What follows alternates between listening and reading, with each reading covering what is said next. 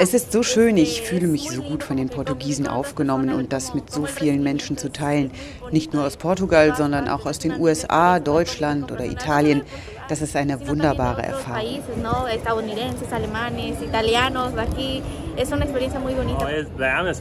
Die Atmosphäre hier ist einfach toll. Die Jugendlichen, die für ihren Glauben brennen und sie singen zu hören. Wir sind froh, hier zu sein und die Möglichkeit zu haben, mit den Menschen unsere Situation in der Ukraine zu teilen. Der Krieg ist nicht vorbei und wir wünschen uns von den Menschen, dass sie für unser Land beten. Pray for it.